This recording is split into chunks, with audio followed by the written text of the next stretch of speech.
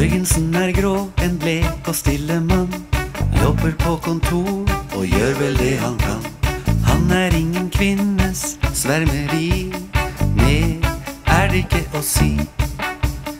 Jørgensen blir aldri bøtt ut noe sted. Sitter der alene ved bordet med sin te. Uka er nok bare trist og grå, men på søndag, da er himmelen blå. For da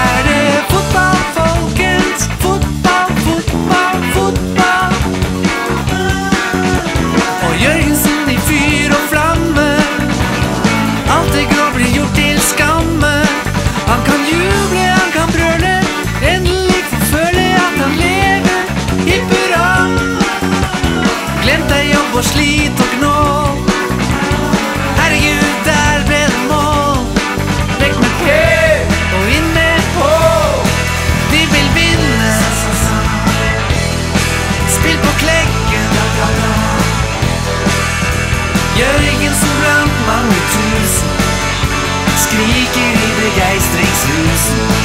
Ut med dommeren, ta og knusen. Vi er byens beste lag. For en herlig, deilig dag.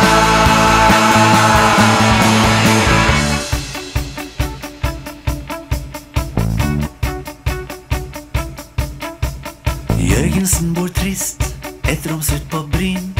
Jørgensen er ungkar, aldri ut på byen.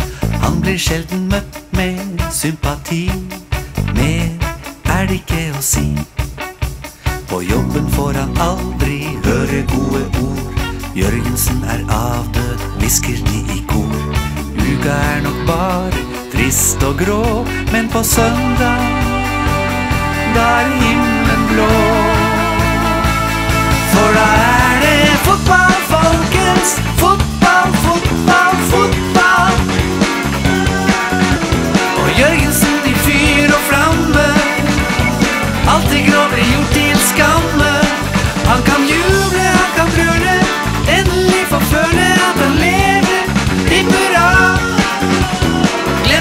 Og slit og gnål.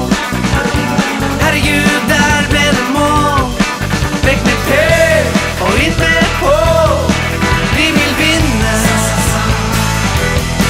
Spill på klekken.